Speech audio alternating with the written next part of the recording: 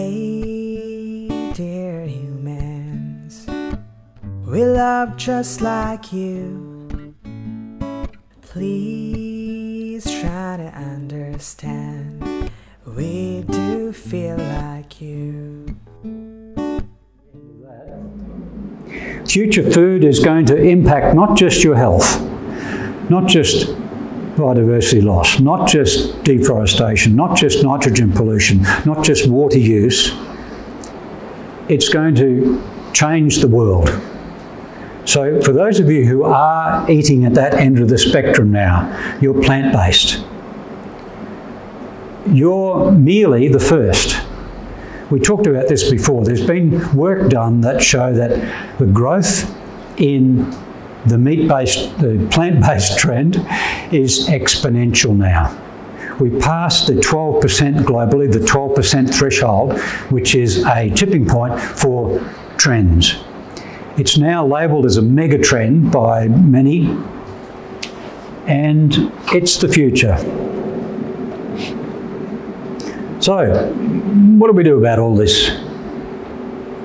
Diet change. It's empowering. Plant trees. Once we get those pesky cattle off that land, we've got to do something. We've got to plant trees like we're going, like it's out of fashion, just to draw down the carbon dioxide. The, the, the London mob I work with, the World Preservation Foundation, is about to launch a program to plant a trillion trees in the next 10 years. It's going to be one of three projects that has an ambition to plant a trillion trees, except their, their timeframe's a lot longer. It's hugely ambitious. It may not happen, but if we get halfway there, perhaps we'll save the world. So, eat plants, plant trees, save the world. Okay, governments can do a lot. They're, they're laggards at the moment, but as Barack Obama once said, they, they, he, he was being heavily criticised for not doing enough for the um, for what he he the, platforms that he got him that got him elected. He was being criticised for not being ambitious enough, and he turned to the activists and he said, "Make me do this." In other words, without public groundswell, without that support, politicians aren't going to change. But if there is that groundswell, they will change. Local government can do a lot as well. Byron Shire, I was down there this morning planting trees with Byron Shire. It's, um, it's, it's, it's going gangbusters. So, that's the end. Thank you.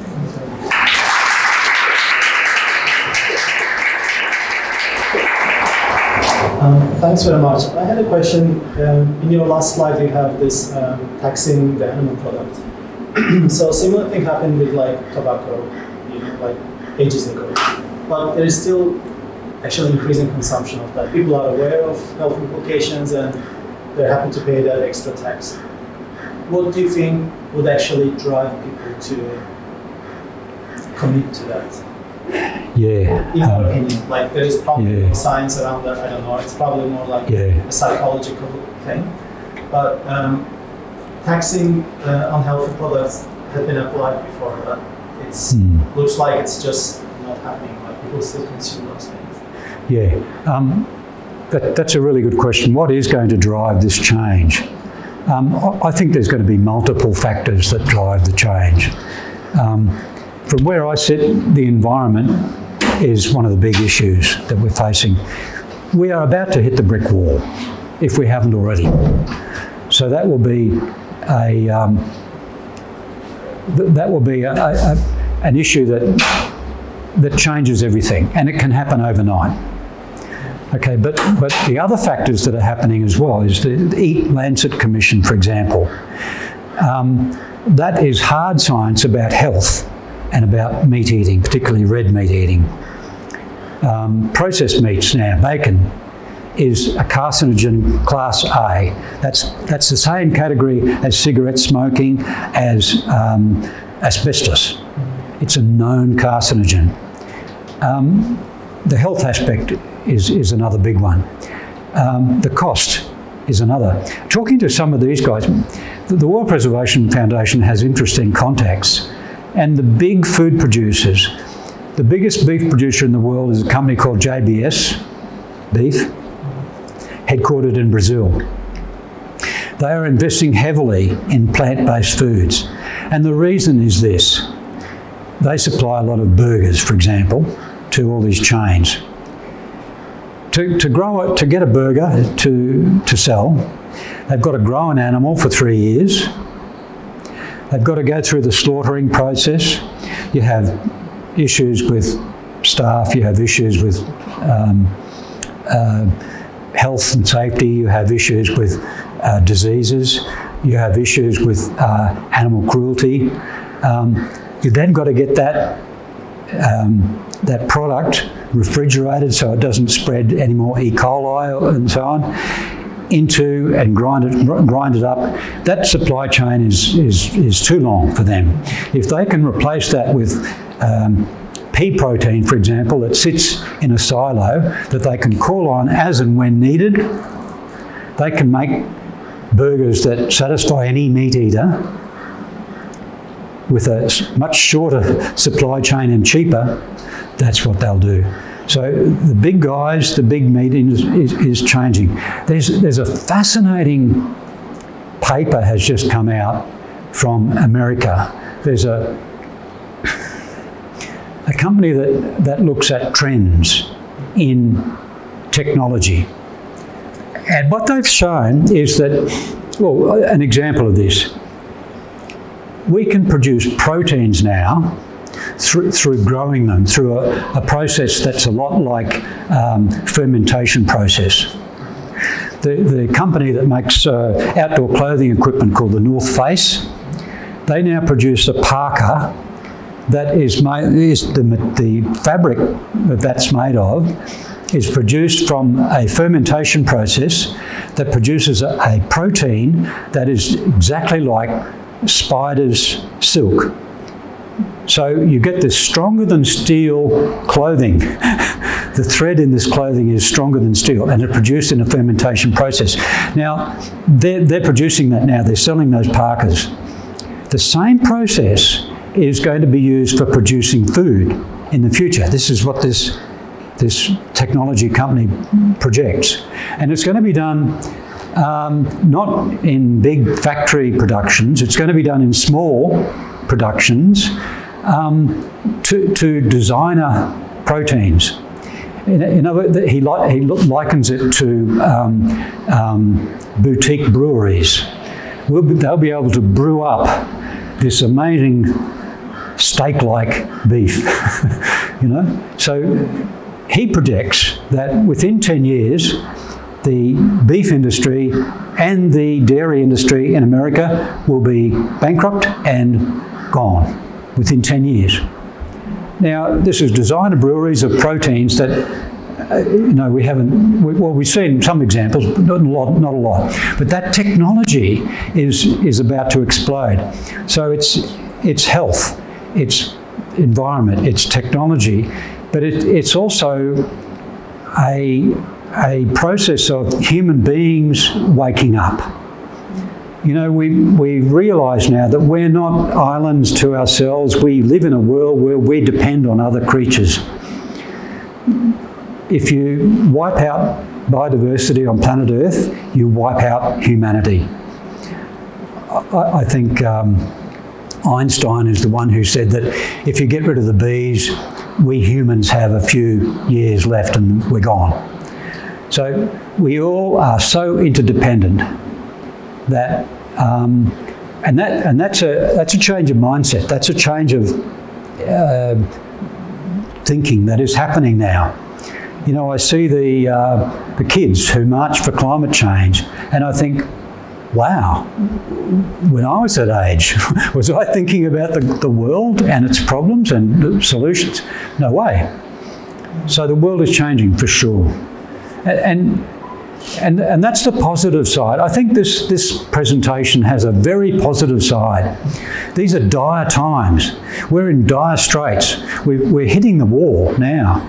But there are solutions, and we can change it overnight. The thing I see is this is a solution that anybody can do. Yes. This is a solution that you can do in your household. You mm. don't have to go and stop um, Adani digging up another mm. big um, coal mine. And everybody can do their own. And if, if a lot of people start doing it, it just will cascade down. Mm. And, and um, the trouble is um, trying, the government can be a sticker because of the mm. lobbyists in the dairy industry and the beef mm. industry and there's a lot of pigs out there. yeah, so. yeah. But it, it, does, it's empowering because you can do it yourself mm. without, you can just, you can start to that. Very empowering, thank you. I'm, uh, I'm completely plant-based, vegan, and, and I also run sort of gardening, permaculture groups, things like that. And um, it seems to be you come up against these arguments with people. Well, not so much, I don't characterise them as arguments, but they, they, they say, oh, you can do it sustainably, and I don't know enough about the science, but I, I don't think that's possible. So what's, you know, what's your thoughts on these people who say that you can, you, if you change it, you can simply mix? Um, it's wishful thinking. Um, it's cultural as well. You know, I, I, my mind goes back to when I was doing the field work to map the deforestation. We did that for 20 years. You'd walk into, in, in beef heartland, for example, you'd stay the night at the, say, the Mount Coolon Hotel.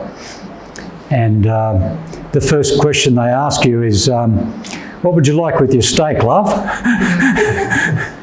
you know, it's just culture. It's, um, it's inbred, but it can change. You know, in, there's a lot of, some of the most innovative uh, milk producers and, and, and uh, flavoured yogurts and all that sort of thing that are coming out now in America, they're, they're plant-based yogurts. They're not dairy anymore some of the biggest names are the ones who used to be dairy but are now plant-based. Um, if there's a buck in it, that's what they'll do. And there's a buck in it now. The, the, the biggest float in, well, generally, the floats, the, the, the, new public offerings in the States, the ones that are attracting, attracting the most attention are the food technology companies, and it's all plant-based. You, you might have heard of Beyond Meat. The, the shares went on, they went for a public offering, the shares were $25. Within weeks, they were $150. And they're still above $100. Everyone was, was predicting, no, they'll crash. They didn't. so, yeah, um, look, public opinion will change. I, personally, I, I, just smile when, when I talk to people like that who are so, so ingrained in what they do, they can't see another way. But by you living your life and doing your thing, you're in their face. You can show them what is real, what's happening. It, you don't, you know, this, this documentary that's just come out, I saw a couple of nights ago, the Game Changers. That's incredible. One of the world's strongest men who can lift nearly 600 kilograms. 600 kilograms and walk 10 metres across the stage with this big rack on his back. I mean, that's incredible. And he, and he puts the thing down and he says, vegan power. you know, that's busting a lot of myths. What, a lot of what we know, we think we know, as Arnold Schwarzenegger says in the, in the documentary, you don't need meat to be a man. That's just marketing. A lot of stuff like that, just marketing. Don't need dairy. In fact, it's really fascinating. The, the, there has been a, I, I don't know who started it, but soybeans have phytoestrogen.